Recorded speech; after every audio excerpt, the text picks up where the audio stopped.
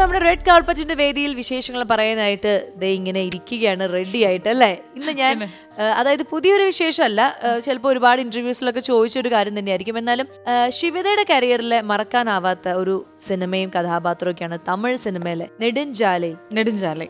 ആ ഒരു മൂവിനെ കുറിച്ചിട്ട് അതിലേക്ക് അതിലേക്ക് എങ്ങനെയാണ് വന്നത്? ആൻഡ് സോ ആ ഒരു സിനിമ നൽകിയ ഒരു ഒരു ഒരു സ്ട്രെങ്ത് എന്താണ്? ഒരു ആക്ടർ എന്ന നിലയിൽ ആക്ച്വലി നെടുഞ്ചാലയിലേക്ക് തന്നെ കൃഷ്ണ സാർ കൃഷ്ണ സാർ എന്ന് പറയുന്നത് ജില്ലിനൊരു കാതലൊക്കെ ചെയ്ത്. ജില്ലിനൊരു കാതൽ ഇറങ്ങിക്കഴിഞ്ഞാൽ നമ്മൾ ആ ഒരു പീക്കിൽ അതിന്റെ ഡയറക്ടറാണ് അപ്പോൾ എന്നെ വിളിച്ചത് ഫാസിൽ സാറിന്റെ ഹീറോയിൻ എന്ന് പറഞ്ഞിട്ടാ.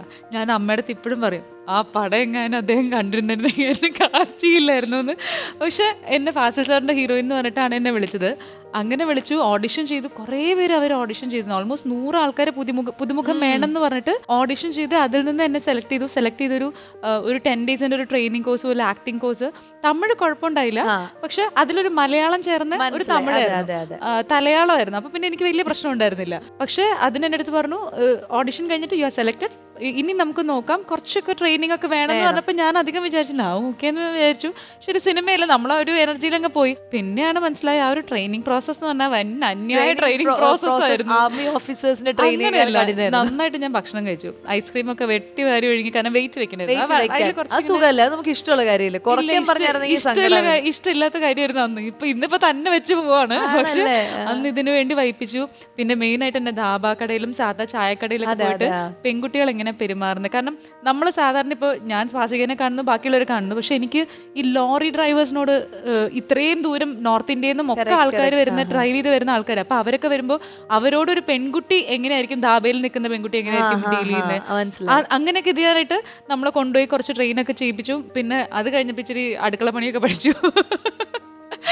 അങ്ങനെ സ്ലാങ്ങും അതെല്ലാം അങ്ങനെ നമുക്ക് സെറ്റ് ഇട്ടുണ്ടായിരുന്നു അത് ഈ കോയമ്പത്തൂർ ഏർക്കാട് ആ ഒരു മലയുടെ ചോട്ടിലായിരുന്നു. അപ്പൊ അവിടെ സെറ്റ് ഇട്ടിട്ട് എനിക്ക് ഓർമ്മയുണ്ട് ഞാൻ ഇവിടെ ഓഡിയൻസിന്റെ ഇടയ്ക്ക് നിൽക്കാം. അപ്പൊ അവർക്ക് അറിയില്ല ഞാൻ അഭിനയിക്കാൻ വന്നതെന്ന് തോന്നുന്നു. അപ്പൊ ഞാൻ ഈ നമ്മൾ ഈ ഇച്ചിരി കറപ്പിച്ച് കുറെ ആയി കുറെ കറുത്ത് അവിടെ നിൽക്കുമ്പോൾ ഞാനവിടെ എഴുതാനിരിക്കുക ഇങ്ങനെ സീൻ പറഞ്ഞു തന്നിട്ട് ഞാനപ്പോൾ അത് മൈൻഡിൽ മറ്റേ ഡയലോഗൊക്കെ പഠിച്ച് എഴുതാനിരുന്നപ്പോൾ ഒരു അപ്പൂപ്പൻ ഒരു ലുങ്കി കൊടുത്തിട്ടൊന്ന് യമാ രണ്ട് വാഴപ്പഴം കൊടുമ അപ്പൊ ഞാൻ ഏ? വാഴപ്പഴവും എന്തോ ഒരു സാധനം. ഇങ്ങനെ നമ്മൾ ബോക്സിൽ ചില്ലിലിട്ട് വെച്ചേക്കാം. ബോണ്ട പോലത്തെ എന്തൊക്കെയോ. അത് പറഞ്ഞ ഞാൻ ചേട്ടാ അത് രണ്ടാഴ്ച പഴക്കമുള്ള നമുക്കറിയാലോ അപ്പൊ അപ്പൊ എനിക്ക് എനിക്ക് അപ്പൊ സന്തോഷം തോന്നി. കാരണം എന്താണെന്നറിയോ?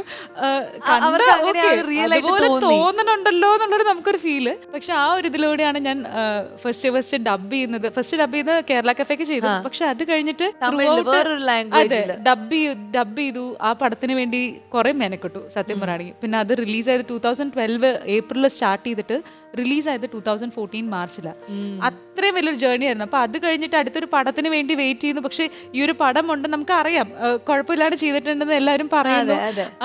നമ്മൾ കണ്ടു പടം. അപ്പം ഉള്ളിന്റെ ഉള്ളിലുണ്ട്. നമ്മളൊരു പറയില്ലേ നമ്മൾ പത്താം ക്ലാസ്സിൽ എഴുതിയിട്ട്. റിസൾട്ടിന് വേണ്ടി അങ്ങനെ ഒരു വെയിറ്റിംഗ് പീരീഡ് ആയിരുന്നു. പക്ഷേ ഐ മസ് സേ ഡയറക്ടറിന് കൃഷ്ണ എന്ന് പറഞ്ഞ ഡയറക്ടർ എന്നെ എന്നെ കൊണ്ടുപോയത് അരുൺ എന്ന് പറഞ്ഞൊരു ചേട്ടനായിരുന്നു. ഇപ്പോഴും അദ്ദേഹം he's he's my manager in Tamil അപ്പോൾ ഇവരൊക്കെ വഴി അങ്ങോട്ട് ചെന്നെങ്കിൽ പോലും ഇപ്പോഴും ഞാൻ പറയും എന്റെ ഫസ്റ്റ് ഞാൻ എൻജോയ് ചെയ്ത് ചെയ്തൊരു മൂവി ആയിരുന്നു. അതിന്റെ ഇടയ്ക്ക് ടൂ വീലർ ഓടിക്കാൻ അടി അറിയില്ല. ശരി. ഇപ്പോഴും അറിയില്ല. അപ്പൊ അതിന് മറ്റേ എം എയ്റ്റി ഓടിക്കണായിരുന്നു. അപ്പൊ കായക്കൊല മുട്ട എല്ലാം വെച്ചിട്ട് ഓടിക്കണായിരുന്നു. ഞാനും വീണു കൂടെ ഉണ്ടായിരുന്നു ഒരു ചേട്ടനെയും കൊണ്ടുപോയി കാലൊടിഞ്ഞു. കാലൊടിഞ്ഞാന്ന് വെച്ചാൽ ഹെയർ ലൈൻ ക്രാക്ക് ആയി ഫുള്ള് കീറി ഞാനിങ്ങനെ ഒരു ഒരു ഒരു അര കിലോമീറ്റർ ഇങ്ങനെ പോയി ഞാനിങ്ങനെ. അതാണെങ്കിൽ ഫുള്ള് ഈ ഗ്രാമത്തെ സ്ഥലം. അപ്പൊ അവിടെ ഏതോ ഒരു അമ്മ വന്ന് എന്റെ കാലിൽ കാപ്പിപ്പൊടിയൊക്കെ ഇട്ട് തന്നു. അതും കൊണ്ട് ഹോസ്പിറ്റലിൽ ചെന്നപ്പോ എന്നെ കൂടെ വഴക്ക് പറഞ്ഞു. അവസാനം കാലിൽ ഈ കെട്ടറിയാണ്ടിരിക്കാൻ കെട്ടണ്ടെന്ന് പറഞ്ഞു. അപ്പൊ ഫുള്ള് മണ്ണും പൊടി അപ്പൊ എല്ലാ ദിവസവും ഷൂട്ട് മണ്ണും പൊടിയുള്ള സ്ഥലമാണ് ഷൂട്ട് തീരുമ്പോ രാത്രിയാവും. രാത്രി കഴിഞ്ഞ് ഞാൻ ഹോസ്പിറ്റലിൽ ഡ്രസ്സ് ചെയ്യാൻ പോകും അപ്പൊ സ്റ്റോക്കിങ്സ് ഇട്ടിട്ടുണ്ട്. കൂടുതൽ മണ്ണാവാണ്ടിരിക്കാൻ അപ്പൊ അവിടെ ചെന്ന് കഴിഞ്ഞിട്ട് സ്റ്റോക്കിങ്സ് വരുമ്പോ ഈ സ്റ്റോക്കിങ്സും ഈ തോലും മണ്ണും എല്ലാം കൂടെ പോന്നിട്ട് കൊറേ വിഷമിച്ചിട്ടുണ്ട് ആ പടത്തിൽ. അതേപോലെ ഒരുപാട് സന്തോഷിച്ചിട്ടുണ്ട് പടത്തിന്റെ റിലീസിന് ശേഷം. കാരണം അത് ഭയങ്കര ഒരു ഒരു ഹ്യൂജ് സക്സസ് ആയിരുന്നു ആ ഒരു ഹ്യൂജ് സക്സസ് ആയിരുന്നു. പക്ഷെ അന്ന് അത് അത്ര ഹ്യൂജ് സക്സസ് ആണെന്ന് എൻജോയ് ചെയ്യാനുള്ള മാനസികാവസ്ഥ ഉണ്ടായിരുന്നു പക്ഷെ എനിക്ക് അറിയില്ലായിരുന്നു. എല്ലാവരും നല്ല എന്ന് പറയുന്നു ഓക്കെ. കുറെ നല്ല മെയിൻ സ്ട്രീമിൽ നിൽക്കുന്ന ആർട്ടിസ്റ്റും കണ്ടിട്ട് നല്ല എന്ന് പറഞ്ഞു. ഞാൻ ഹാപ്പി അത്ര തന്നെ.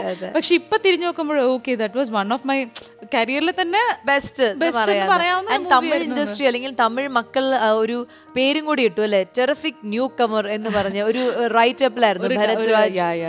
അദ്ദേഹത്തിന്റെ ഒരു റൈറ്റ് അപ്പിൽ അദ്ദേഹം തന്നെയാണ് ആ ടൈറ്റിൽ ഇട്ടത്. അല്ലാണ്ട് നമ്മളോട് ചോദിച്ചിട്ടോ അങ്ങനെയൊന്നുമല്ല. സോ ആ മൂവി അത്രയും ഒരു ഇമ്പാക്ട് അവരുടെ മനസ്സിൽ കൊടുത്തോണ്ടായിരിക്കും. ഇപ്പോഴും എല്ലാവരുടെ മനസ്സിൽ മറ്റേ എന്താ ഒരു ടെർഫിക് പെർഫോമർ എന്നാണ് ഞാനത് ഓർക്കും. ഇത് എന്ത് രീതിക്കാണ് ഇവർ ഉദ്ദേശിക്കണേന്ന് അറിയില്ല. പക്ഷെ സന്തോഷമാണ്. കാരണം നമുക്ക് തമിഴിൽ കിട്ടുന്ന റോൾസും എക്സ്പെരിമെന്റ് ചെയ്യാൻ കിട്ടുന്ന റോൾസും അതേപോലെ തന്നെ ഫീമെയിൽ സെൻട്രിക് ആയിട്ടും പെർഫോം ചെയ്യാനുള്ള അങ്ങനത്തെ ഒരു രീതിക്കാണ് കിട്ടുന്നത്. അപ്പം ഹാപ്പി വിത്ത് ഇറ്റ്